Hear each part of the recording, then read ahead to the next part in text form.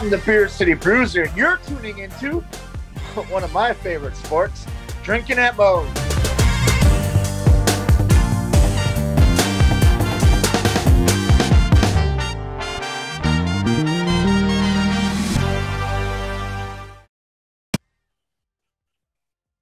All right, everybody, welcome to Drinking at Moe's. I'm your host here, Big Mo.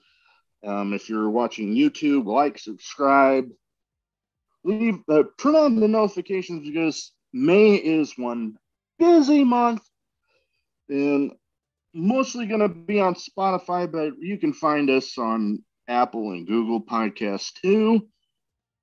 I am extremely excited today because we got with me Beer City Bruiser. How you doing? I'm doing fantastic. How are you? I'm doing pretty well. Like I said, I got this up and going. May is turning out to be a pretty busy month. I've already had some pretty nice guests on so far. I had uh, me being the tag team wrestling fan that I am. I've had uh, the SATs on. Oh, cool. Had uh, not too long ago had uh, actually had Cary Silkin on. Oh yeah, Cary's a good guy. I miss Oh yeah, no, he he was a fun guest. We had to cut it a little bit short, but you know, hey, I got to have him on. Yep. But uh, one thing I like to do to kind of start it off is ask what got you started as a fan, and then also lead into like you're starting wrestling. Uh, I became a fan um, when I was a kid, around seven years old. My uncle took me to a, a local fair, and the AWA was there. Hmm. And in the main event, Bruiser Brody was in it, and he came brawling right past me. And I remember looking up and seeing him, and you know, I'm only seven, so he looked, you know, 12 feet tall, and he had the blood and the sweat and just everything. And I was like hooked from then on. Like right then and there, I was a huge fan. And uh, I tried finding everything I could with Brody. Uh, Brody was the end all for me, and Mm. I just couldn't get enough of them. So that's how I got into like Japanese wrestling and Puerto Rican wrestling and Texas wrestling and all that. Mm. And then uh, I be- became a wrestler when uh, all my friends knew I was a big wrestling fan. We used to joke around, you know, we'd watch the pay per views and stuff. Then we'd go out in the yard and hit each other with stop signs and garbage cans and just the stupid shit you're supposed to, you know, you're not supposed to do. And uh, yeah. at one of these parties we were at, a guy goes, Hey, have you ever thought about being a wrestler? I'm like, Man, that would be awesome. So he goes, Well, my neighbor, they just had a ring set up in our yard, and the news came out, and they were trying to convince backyard wrestlers to be like professional wrestlers. I can introduce you to him. I said, Yeah. Mm. His name was Jet Bennett. So 10 o'clock at night, I'm drunk off my ass. I knock on his door and talk to him, and he gives me a list of like uh, just people to contact to get in the wrestling. And one of the guys, his name was Trevor Adonis, and he happened to live Hmm. just like five minutes from me. So I walk into Trevor's gym and say, Hey, I want to be a pro wrestler. And he says, I'll tell you what, you can do a fantasy camp, you know, cost 150 bucks. Supposed to be two hours, show up at this time with the money, yada, yada, yada. Like, okay. So I show up that day, pay my money, and my two hours turns into four and a half hours because I just started picking up on it. He was he was so excited. He taught me more and more and more. And he started, you know, I he's like, this is how much I charge for training. I'll help you out. After about two years, I started doing the Harley Race week long camps. Oh, okay. And Harley Harley took an interest in me right away. And he's like, Hey, you get a scholarship to the academy, come on down, you, you know, and, and do it. And so finally I, I did it and I was down there for I think six years, five or six years, um, Hmm. studying with Harley. So I always say I went to high uh, grade school and high school with Trevor, and then I went to college with Harley. Ah, pretty good. He, oh, he froze up there for a second, but yeah, no, that's awesome. I know a bunch of the guys I know out here in Omaha have uh, mentioned about going out there for that. Uh, I believe uh, Duke Cornell, he's talked about it. Uh, There's another guy that I know you've faced off with before, Brandon Juarez, or as he's more popularly known, Donnie Pepper Cricket. Yep, I know Donnie. Oh yeah, he was actually the best man at my wedding. Oh, cool. Yeah, I'm really yeah, good friends with Donnie. Donnie's a good guy. Since I came back on the Indies, I, I it just so happens that every time I do a Midwest loop, we're always on the same show. So it's a good guy to hang out with at That's the shows. Awesome. Good guy to hang out at the bars afterwards. He's just a good guy overall. Yeah. Oh yeah, definitely. He, he introduced me to my wife, so I was like, when I got around to asking, I'm like, eh, you earned the job. nice. But yeah, um, one thing a lot of people might know you from is your time in Ring of Honor. Uh-huh. Um, we talked a little bit about me having Cary Silkin on. The SATs were there in the very early days. Do you got any like? I was gonna start talking a little bit about road stories. You got any good stories from your time there with Ring of Honor? Oh, I got lots of stories. Ring of Honor, uh, the locker room that we had was probably the best locker room I've ever been a part of. Um, the word family is thrown around a lot, but that that locker room was family. Um, the hardest part about it being shut down wasn't necessarily the wrestling part of it. It was not seeing those guys every weekend. Mm. Um, and now it's weird. It's now every indie show I do, uh, at least one guy from that locker room's there. So it's like awesome, you know, get to see my buddy and stuff. Um, yeah, but uh, one of my favorite stories actually is with uh, Brian Milonas and I traveled a lot, obviously, and uh, we stopped at a Whataburger. We were in Texas, and mm. um, one of the managers came up and started talking to us how he was a huge wrestling fan and yeah. he loves wrestling and all that. And if we asked, we knew John Cena and you know the normal things, and he yeah he said, "Oh yeah, well I work here at Whataburger, so if you guys need anything," and you could tell he was like mentally challenged, so we were being real yeah. nice and trying to help and stuff. Well, then his dad came to pick him up, and his dad was a huge wrestling fan. So his dad came over and kind of recognized us, and the first thing his dad does is he starts massaging Milonas' shoulders, and we're we're talking to him, just being nice, and this guy is constantly massaging Brian's shoulders. This is going on for like five, ten minutes to the point where like it's getting kind of awkward. He's, you know, right. Yeah. He he leaves. The guy leaves to go check on his son because his son had to go clock out or something. So guy leaves. And I look at Brian. I'm like, what? What was that? Brian's like, I have no idea. The guy comes back and starts massaging his shoulders again, talking to us. we're like, okay. So the guy leaves. We're like, okay, we're getting ready to leave. And Brian and I, we don't bet money. We bet cases of beer.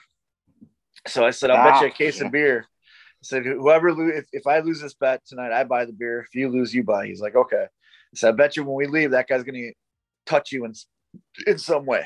I think he's going to hug you. He's going to shake your hand. He's going to do something. yeah.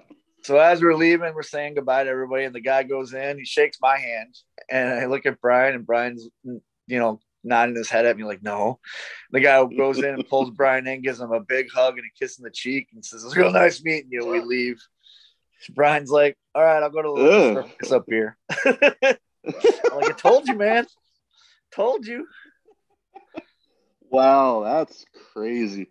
Yeah. Like I know I've had I've had some entertaining stuff with some of my friends from around here. They uh, a few of them did shows up in Fargo, all throughout North Dakota, really. But uh, one time I went and I actually got to be special guest ring announcer for their match. And I actually posted about it on Twitter not that long ago. But, anyways, we are at the after party, and there's, uh, well, now Ruby Soho was on the card that night. So I'm hanging out with all of them, and there the bar had apparently a karaoke night, and for me to get up for karaoke, I have to be pretty well fucking hammered. And right.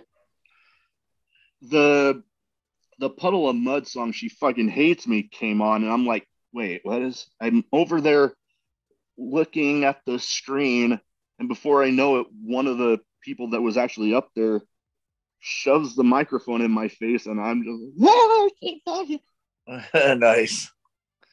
But yeah, no, plenty of good times. Um,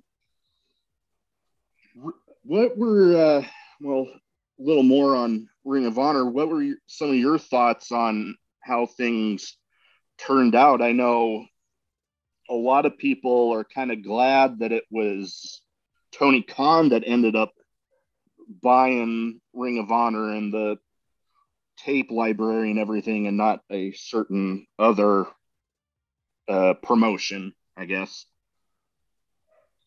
Uh, I was shocked. Like, I, we all found out when everybody found out, you know, live on that Wednesday when he came out and made the announcement.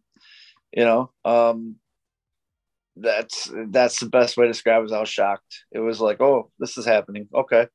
Um, I, if I knew it was for sale, it's cool. I don't really care who bought it. You know. Yeah. Um, it, it's not going to be the same Ring of Honor that used to be because that that locker room was so close and so tight towards Yeah. the end, you know, and and we did all those no fan shows and Mm. we are all real close. And Now, like what five of those guys are on the current roster? You know what I mean? Like I'm not saying the Yeah. current roster isn't good. They got a good roster over there. Oh yeah. It's, it's not the same. So No, you know, I, can- I hope can I hope it I hope it does well. You know, I can't Yeah. can't do nothing but be positive. You know. Yeah, nope. I'm I'm with you there. I mean that you pretty much confirmed everything that I'd been hearing from a lot of different people about you know, you finding out the same way pretty much everybody did when Mr. Khan there came out and kind of announced it to the world.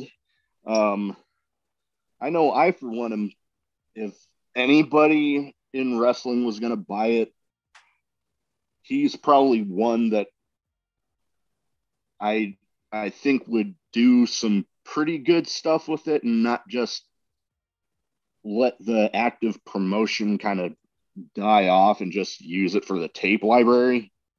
Yeah, we, I don't know what's gonna happen. Like there's there's so much up in the air that nobody knows what's gonna happen. Uh, only the future can tell. I hope it survives, Mhm. but if it doesn't, it it died. We had a really good run at the end, man. Like we gave it our all. Mhm. So No, if nothing it to be just a ashamed tape, of there. if it is just a tape library, cool. If it lives on, cool. Like wrestling's fun, and and the Yeah. more wrestling, the better. Oh yeah, no, definitely, and that's kind of leading into something that else that I wanted to talk about was um, the current state of wrestling because a lot of people have talked to me about how they feel like it's it's maybe not as popular as it was back in like attitude era days but it's definitely probably about as healthy as it's ever been with like the sheer amount of choices. Like pretty much any day of the week you can find something. And if you're if you're looking you'll find something that suits you. What are some of your thoughts on like how the current state of things with wrestling is going I I think it's great. I mean, there's there's more wrestling now and more accessibility to wrestling than there ever has been. I mean, Oh, yeah. you can literally on your phone watch wrestling 24 7, whether it be WWE, AEW, WCW, ECW, Ring of Honor, Impact, TNA, Indies. It doesn't matter. Mhm. Like Japanese wrestling, English wrestling, Mexican Mhm. wrestling. Like you, there's so much out there, and the current state is great. Cool. That's more work for the boys and, and the girls. Yeah. You know, like, and and if you're a wrestling fan, man, I grew up when you had a tape trade. You know, you had to wait. You heard about a great match Oh, in. Japan. You had to wait two weeks for it to get over here. That's what that's the era I grew Mhm. up in. But now you can just click on your phone. same here Yeah, and now you can just click on your phone, like you Yeah. know, you get it. So that, Oh, that's yeah. a good thing, man. Like, I think it's great. oh yeah and, it- no and- i know there's so many different types of wrestling out there too. Like, Mhm. I, I'm a wrestling fan, so I love all of it. Yeah. Um, so if you're a deathmatch fan, you can look up just death matches. If you're a AEW fan, you can watch just AEW. If you're a WWE fan, you can watch WWE. You know, like there's mm-hmm. so much out there. Yeah. You can watch everything. Oh yeah, and then there's also those promotions that literally have a little bit of everything. Yeah. Like one thing, one thing I kind of like about, uh, well, GCW for example, they have the death matches. I mean, most of their matches have some sort of a like a hardcore element, but there's literally a little bit of everything. Yeah, exactly. And that that's one thing I definitely tune in to them for because I I like that grittiness, that intensity, which is one thing that kind of drew me to you is the intensity that I saw in you in Ring of Honor because my, I have YouTube TV and I was able to just search professional wrestling and uh, before uh, Sinclair stopped it here recently, I was literally every week watching those those shows that you didn't have people at, and I, I was doing my best to keep up with it. I mean, sometimes better than others, but you know. Yeah. Yeah, um, Harley always taught us to be intense, you know. Um, and I, I hit hard and get hit hard, so that's just the way I am. That's the way I was brought in. I mean, look at Harley Race; he's probably the toughest son of a bitch you've ever gonna meet, you know. And and he passed it on oh, all yeah. of us, all of our Salvage students. You know, be tough. You have to be wrestling's not an easy sport. It's not a. It's not a. Everyone yeah. compares it to gymnastics and all that. Well, I don't know how many gymnasts get.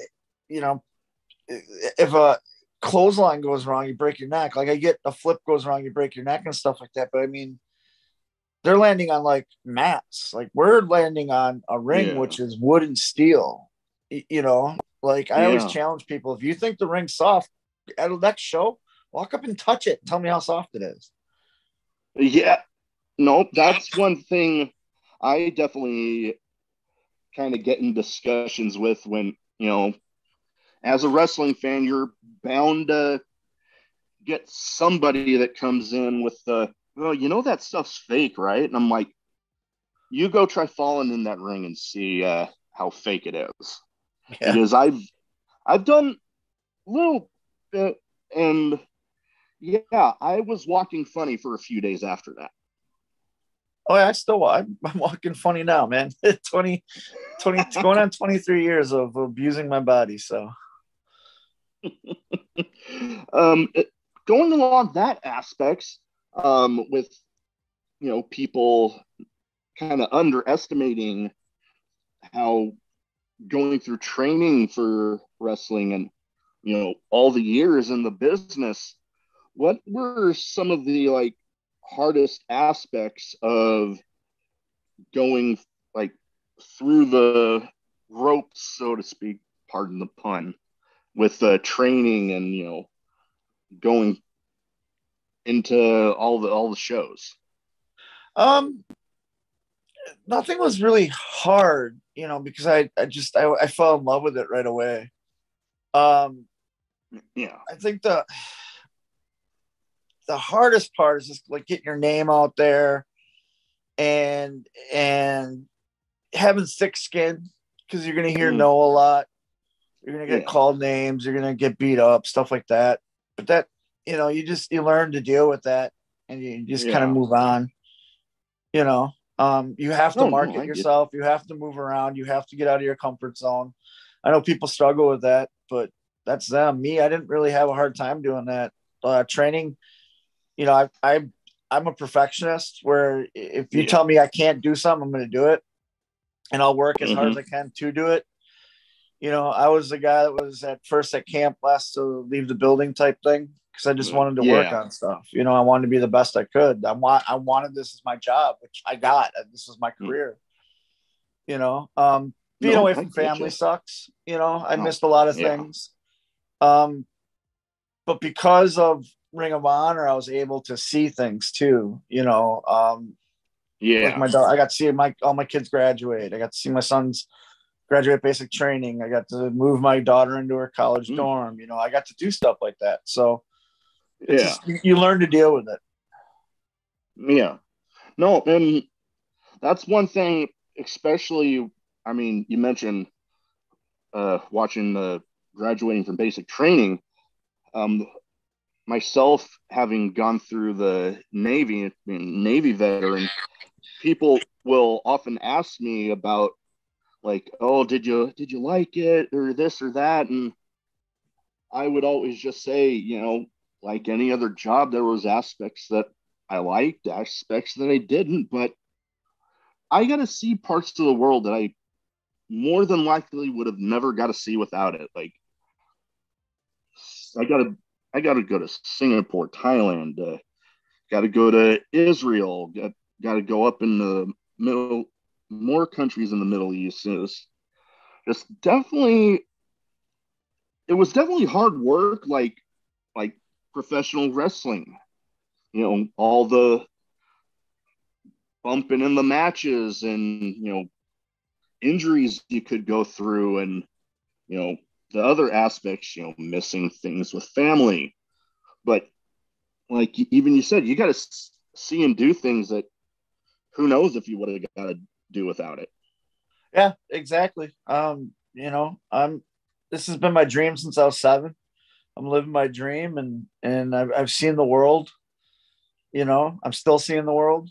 Um because of professional wrestling, I was able to put my kid through college and buy a car and buy a house and you know, but it, it's it was still the hard work and determination. And and my kids, they always looked as oh, dad's at work.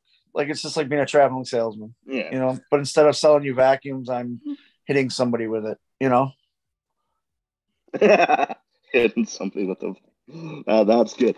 Um, one thing you mentioned about uh, being in a team with uh, somebody and traveling with them. I'm a big tag team guy. Uh, what are some of your favorite matches as far as like when it comes to tag teams? Like, who are some of your favorites and maybe some of the matches that they were in?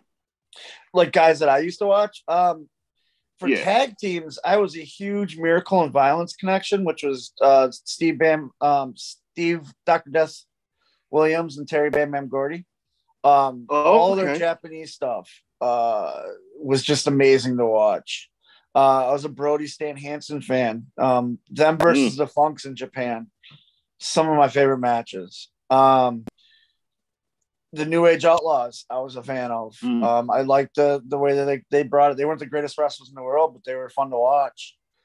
Um, Yeah, definitely Rock and. Roll Rock and Roll Express and Midnight Express, you know, amazing tag Mm. teams.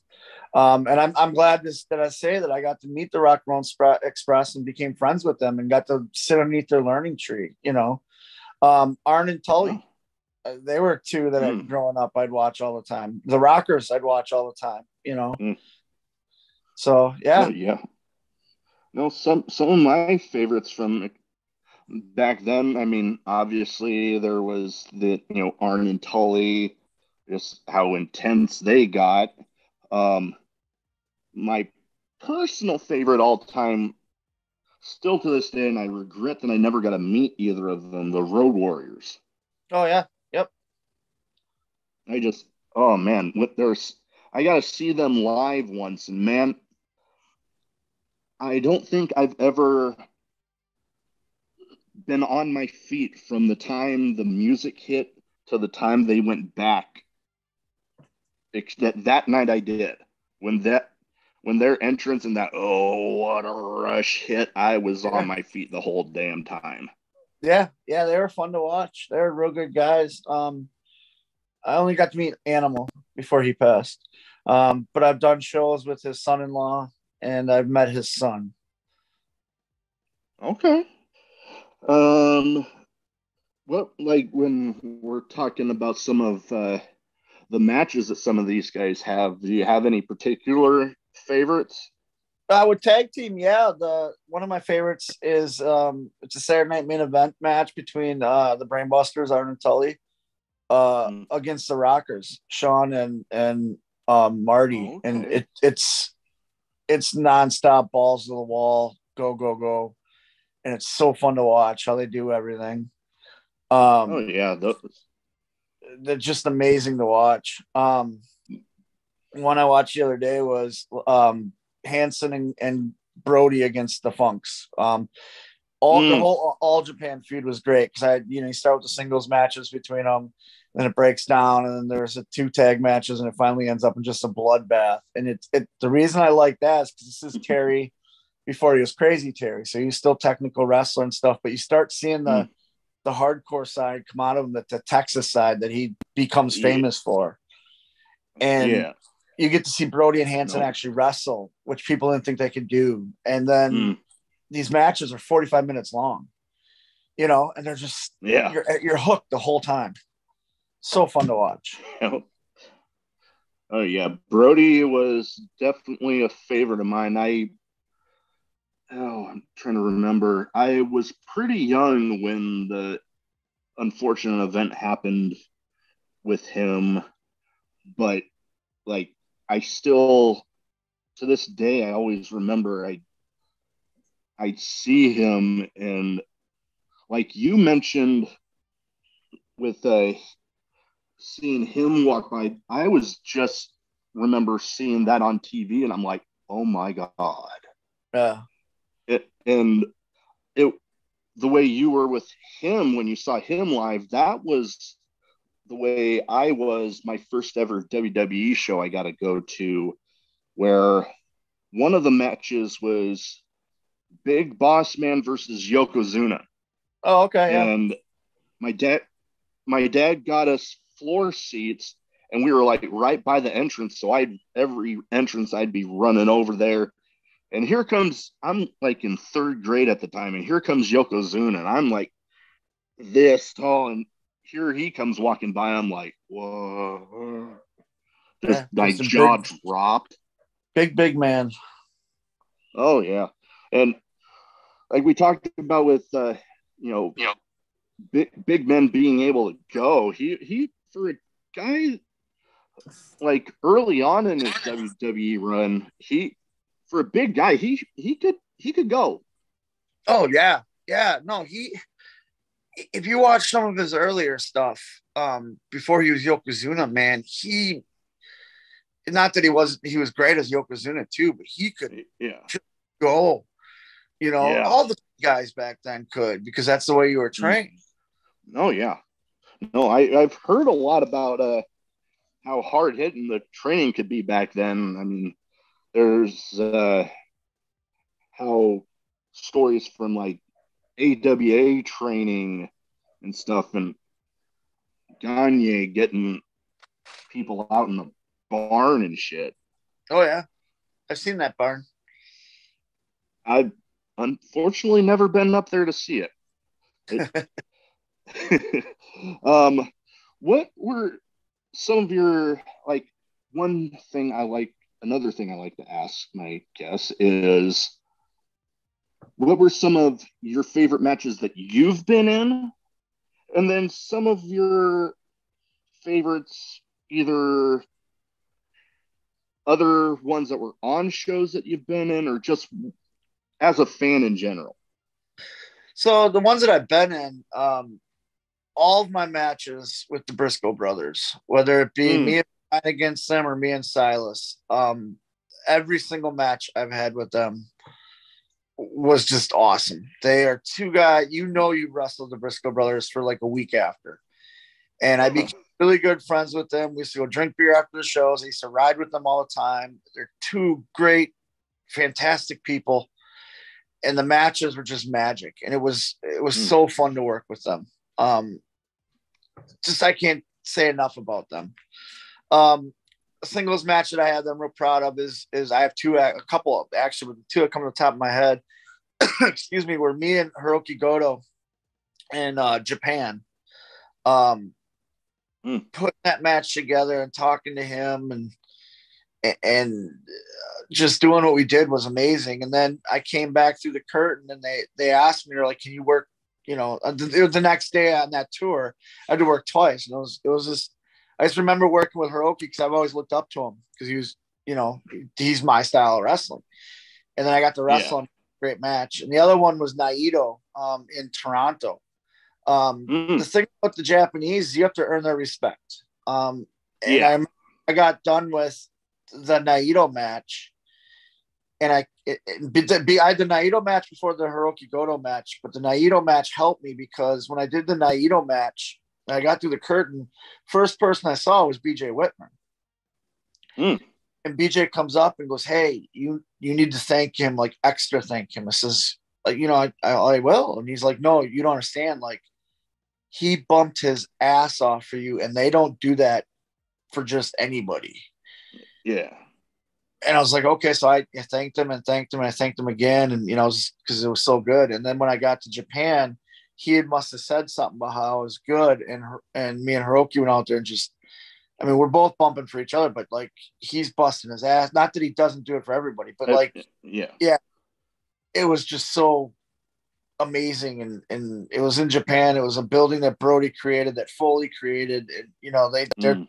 Led in that building, and those are two of my idols. And Gordy was there, and he's one of my idols. So I'm like, all right, my my three wrestled here. Now I get to wrestle here. And not only that, but I'm going for their open weight championship against the guy that I've looked oh. up to years. You know, yeah. And just the reaction we had, and it was amazing. It was so much fun. And then, and then in uh, Toronto, just the amount of heat I had beating him up, you know, and, and it was just it was so fun. That's that's awesome. I big fan of both of those guys, and uh, going back to the Briscoes, um, I would love to eventually have them on. I was a huge fan of those guys, but uh, SATs they very close to them too, and nothing but nice things to say about them. And it's like, like I mentioned, how I like that grittiness, that intensity. Th- those two are definitely every bit of it. Oh, yeah, they're intense. They from the minute their music hits to the minute they get, even after they get in the back, they're still amped up. And then, then when we go out drinking, we get more amped up. But uh, yeah, like when I think of intensity, I think of them because they, them and God is another one. They they're just two oh. tag teams. Oh, two of my favorite tag teams right now. Both both of those. Yeah. I'm I'm actually a huge God fan, and another thing from my wedding, one of the I joke with my wife about this, but it was one of the few ideas that I really got to do. And you know how they have those pictures of uh, groomsmen and they're like holding out their shirt and it's like superhero logos? Yeah. I did that, but with a God shirt. Oh, nice. Cool. I got one for each of my groomsmen, and we were all wearing that, and they were. Uh, Tama Tonga was uh, retweeting it, and I'm like, oh my god, that is awesome. yeah, they're they're another two cool guys. We were supposed to go on a program with them before the pandemic, and it just kind of fell through. Oh, that's a bummer. That that'd be that'd be a match I wouldn't mind seeing. we are hoping for it, Brian and I both, but then COVID hit. So what are you gonna do? Yeah, I mean, who, who knows? Maybe there'll be a promotion out there that'll uh, put that one together. Yeah, hopefully. Would be one I wouldn't mind seeing. Um, anyways, uh, one thing I like to do to kind of before rounding off the show is you might have seen some stuff like this with uh, Broken Skull sessions, I'd like to do a little bit of a speed round where I bring up some names of people, maybe a promotion, and you you give me your thoughts. Okay. All right. First off, a guy that we've brought up a few times, a guy that I am a huge fan of, and to this day, still a huge fan. Mr. Brody. Like Bruiser Brody? Bruiser Brody, yep. Uh you just want one word answers? you want me to tell you my feelings or what? Like, uh, like short little feelings about it. It doesn't have to be one word. Okay, well he he's the original. He's the he's the original everything. Like he made hardcore fun. He made wrestling fun. Uh, and an inspiration to not just me, but many. I can. Uh, Max Impaler's a big fan. Homicide was a big fan. Mm. Um, you know, so it's cool hanging out and talking to them about that. But yeah, he's the original and and mm. inspirational. Definitely. I know as far as that show, uh, Dark Side of the Ring, the one they did on his killing is like my like it's a sad episode, but it's still one of my favorites because just getting to hear all the stories about him. Yeah. I like I said, such a huge fan. And when I saw that episode come up, I'm like, I am not missing that. Yeah, no, they did a really good job of telling that story and and protecting it. You know, making, telling it right and doing right by Brody. No, definitely. I completely agree with you there. Um, another guy we haven't really brought up, but we brought up a promotion in GCW that the guy is synonymous with and how I like the whole grittiness aspect and intensity. Nick Gage. Uh, I only met him once here in Milwaukee. It was for a real brief instance. Um, and it was just like a high buy. And I don't watch a lot of his matches. Um, but I haven't heard a bad thing about him. I, you know, I'm, uh, I know Tony Deppen real well. He's real close. Well, not close, him, but knows him. Um, yeah you know, and he, him and Brett are doing a really good thing with GCW. Like they're they are filling that niche, you know, um, mm-hmm. especially during the pandemic, they stood out. Yeah, you know, and I think Nick Gage being the face of that company for so long is what put it there. So, oh, definitely. And one thing I kind of like to like in GCW too is uh, if they kind of are doing what so many people have tried and uh, fill in that niche that the like original ECW did. Like the, the original ECW, they had a little bit of everything. Yeah. And GCW, I feel like they are doing it right. Like if yeah. if you're wanting to like they're I'm not gonna say they're trying to be like a ECW reboot, but they're about as close to what I feel like fans of that original ECW product would have wanted in an ECW reboot. Yeah, they're definitely doing a really good job in securing that niche that they're creating. That that you're right. It, it's a void that's been there since ECW died. GCW's filling that void, which is you know good for them. They're they're doing really well. You know, um, uh, like I said, they're during the pandemic. They're the one company you can say not just only stood out but grew. Yeah, oh, definitely. Um, well, speaking of wrestling during the pandemic, I'll go with a promotion here. One that like we mentioned, you're synonymous with Ring of Honor.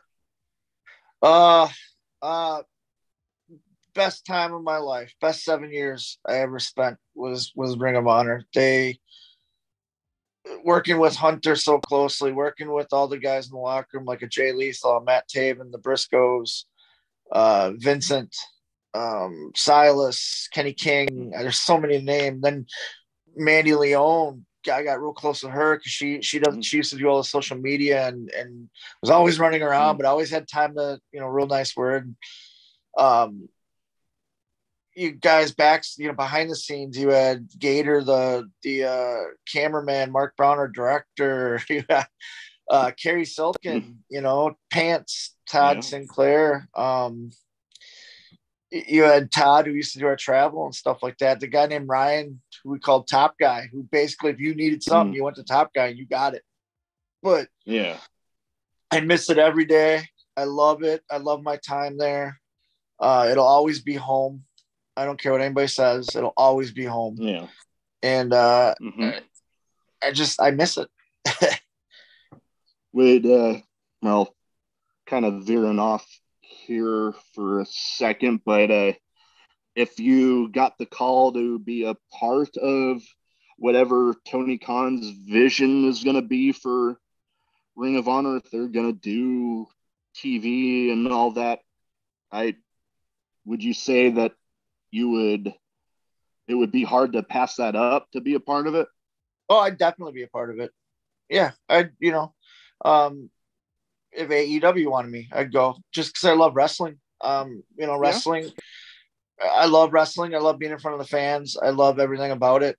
And and it, if I work for AEW, I'll work as hard as I can. If I work for the new Ring of Honor, I'll work as hard as I can. But the Ring of Honor that I know that I that I left, that's the one I was describing. I really hope something Yeah. comes of it. But yeah, if they called me, I, I in a heartbeat would go definitely. Wait, um, let's see here. Two ones to kind of round it off. Both were a part of the first class of the uh, Ring of Honor Hall of Fame. One actually made his return and has since became the TV champ, Samoa Joe. I I've only briefly interacted with Joe, um, and he was really cool all the times I interacted with him. I like I love his style of wrestling. He does the stuff that you don't expect out of a big guy, and being a big guy doing stuff that people don't expect me to do, I really appreciate it. Um, Oh, it's yeah. hard not to steal his moves. You know what I mean? He's so good at them, Yeah. but um, he's just he, yeah. His matches are fun to watch uh when he was on commentary he was doing pretty decent but like you know his old ring of I- him versus kobashi the, the two nights they did in chicago Mm. i think it was chicago and new york amazing uh, just that's yeah. hard hitting that's intense if somebody wants to see a great match look up ring of honor joe versus kobashi and just Mm. it's so good that's when i became a fan of his Oh yeah, like that. Those matches between the two of those guys in particular. Oh man, some of what got me into wanting to uh, get more into the Japanese style of wrestling because heck, right now some of the guys that I uh, I like in particular, w- one of them I feel like is very much that style. Uh, Tomohiro Ishii oh yeah one of my absolute favorites right now. yeah Um, I'd, I'd love to right. wrestle with him he's a oh yeah. I've been on plenty of shows with him, and I was supposed to wrestle him one time, and he got switched at the last minute, which it happens in wrestling. But yeah, he'd be fun to work. Mm, yeah. Definitely. Uh, but not least, like you mentioned, another part of that uh, first ballot, uh, Ring of Honor Hall of Fame, CM Punk. Um, Oh. I don't really have any comments on Punk. Like Punk is Punk, and Yeah. I just yeah, I don't uh don't have any comment. I mean, good for him for doing what he's doing, and he Yeah. yeah. I have no no real nothing good to say, nothing bad to say. I'm neutral. Um, nothing, and- nothing wrong with that. Yeah, like I, I can't. Yeah, I got nothing. Sorry. no, no, no, no, no problem. I kind of, with the speed round, I kind of like to get uh, it somewhat themed after, I guess, and with you know the Ring of Honor connection there. That's where that came up. Yeah. But anyways, to end the show here, I kind of want to let give you some time to plug any upcoming events and let people know where they can find you so they can uh, follow you. Okay. Um, I can be on Twitter um, at BCB Winchester, on Facebook, um, the Beer City Bruiser. Instagram is Beer City Bruiser. Uh, you can find me on prowrestlingtees.com slash Beer City Bruiser. And I do Cameo. Check me out on Beer City Bruiser on Cameo. And then uh, check out a podcast I'm part of called Darkness Radio.